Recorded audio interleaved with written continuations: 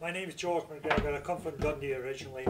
I come to this man shed because I enjoy woodwork and the social aspect of intermingling with other people. What's the, the, the project you're working on just now?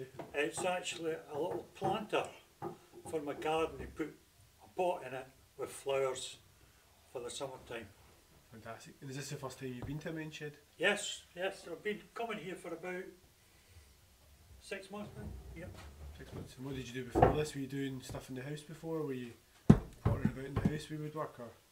Um, no. The, I mean, uh, things like making posts for putting up uh, uh, framework for growing things like peas in my garden and things like that, but, but nothing like this.